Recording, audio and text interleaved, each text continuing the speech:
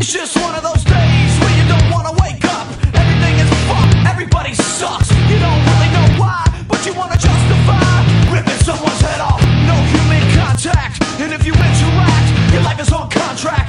Best bet is to stay away, motherfucker. It's just one of those days.